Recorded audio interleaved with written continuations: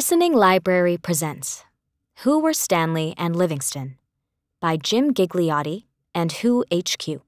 Read for you by Meher Dudeja. Who were Stanley and Livingstone? One day in 1871, a man hobbled from his hut in a small village in East Africa to see what all the excitement outside was about. He was only 58 but his gray beard and rough skin, worn and wrinkled from many years of working outdoors in harsh conditions, made him look much older. He moved slowly, too, because he had been sick for a very long time.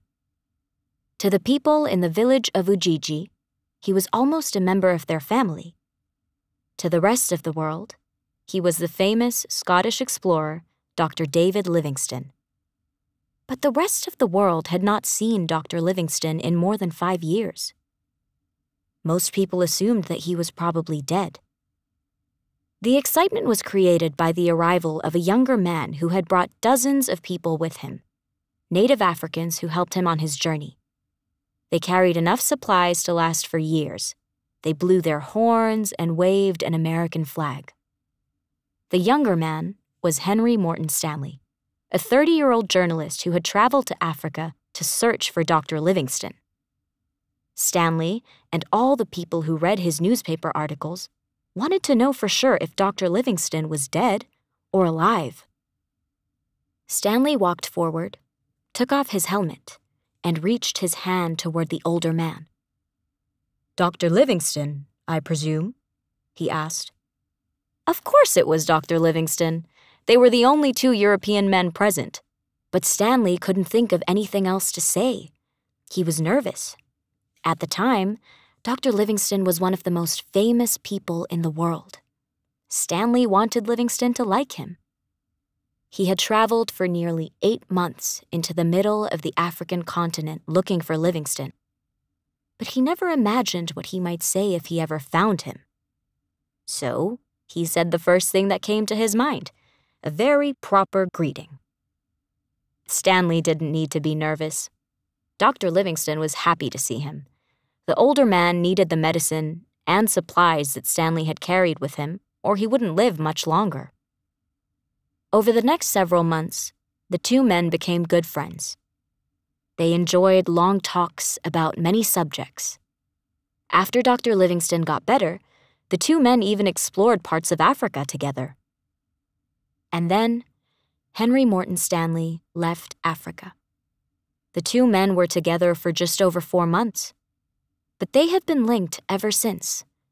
It's almost as if Stanley and Livingstone was one name.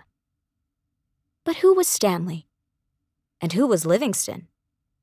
Did they ever see each other again?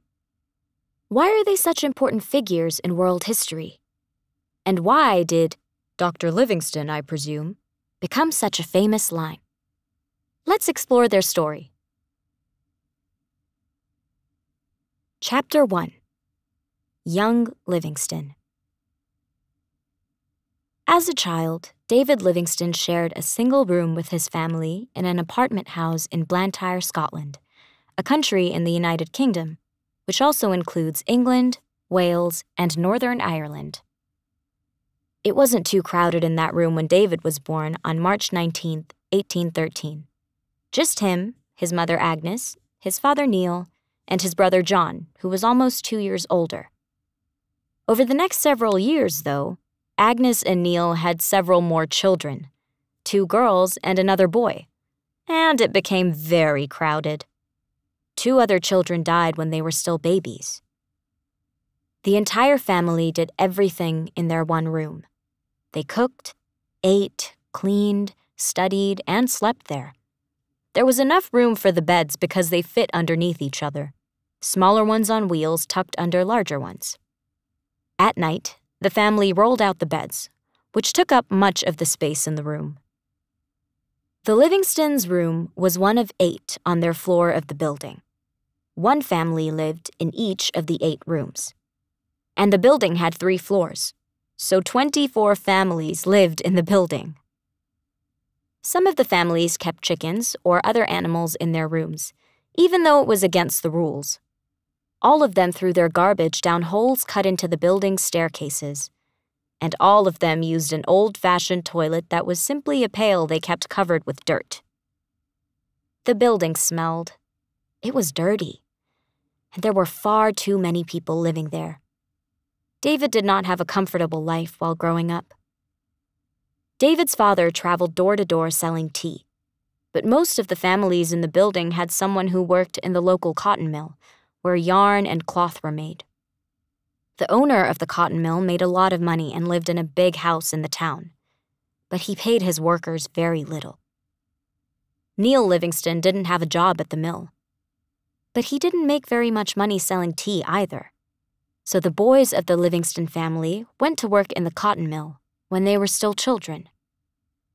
David was just 10 when he began his first job at the mill as a piecer. Working as a piecer meant fixing the threads that broke on the spinning machines. Piecers were often children because the job meant crawling under machinery or climbing on top of it. They were better at this than adults, and their size was more suited to the job, which was hard, dangerous work. The hours at the mill were long, and the building was hot. Mill workers, including the children, worked from 6 o'clock in the morning until 8 at night. The mill was almost 90 degrees inside because the heat was good for the cotton. Sometimes the piecers had a bucket of water poured over them. It wasn't to cool off, though. It was to wake them up if they were getting tired near the end of a long day. Still, that was better than the other punishment they received if they didn't spot threads that broke a beating with a leather strap. By the end of the day, many of the piecers were too tired to do anything but go home and sleep so they could do it all again the next day. Not David, though. After he got off work, he went to an evening school. Lessons were taught for two hours beginning at 8 o'clock at night. The teacher was a man hired by the mill. Then, after David was done at 10 o'clock, he went home to read. Often he read books about science and geography. He read until at least midnight and sometimes later. Then his mother would take the book out of his hands and tell him to sleep. After all, he had to be back at work again by six o'clock in the morning. It was a tough life, but David wasn't unhappy. The first time David got paid, most of what he earned went straight to his parents. But with the little bit left over, he bought a book to learn Latin. When David wasn't studying Latin, he especially liked to read books on travel. He dreamed of seeing the world outside Scotland and of visiting the places he read about.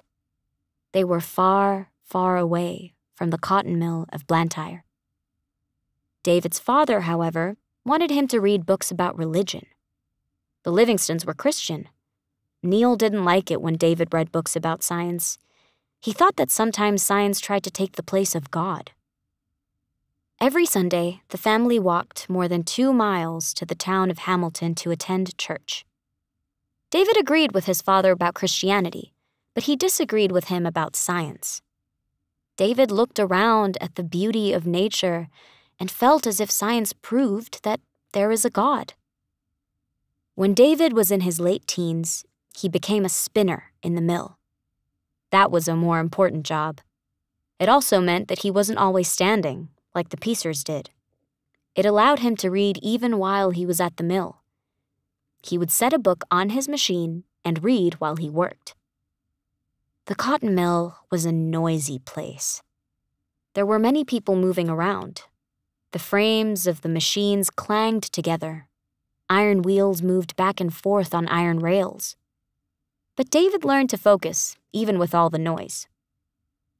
One day, David's father brought home a paper about medical missionaries in China. Missionaries are people who travel to another country to teach about their religion. Medical missionaries also help take care of the sick. David thought it could be a great way for him to help other people. He was very interested in science, so becoming a doctor made sense. And he wanted to travel, so becoming a missionary was a perfect fit. It cost money to go to medical school, of course. But because David was now a spinner, he was getting paid more. He managed to save some of his salary for school. And in 1836, when he was 23, he began studying at Anderson's College in Glasgow, Scotland. In 1840, David qualified as both a doctor and a missionary. He had joined the London Missionary Society, which sent people all over the world to teach. We hope you enjoyed this preview. To continue listening to this audiobook on Google Play Books, use the link in the video description.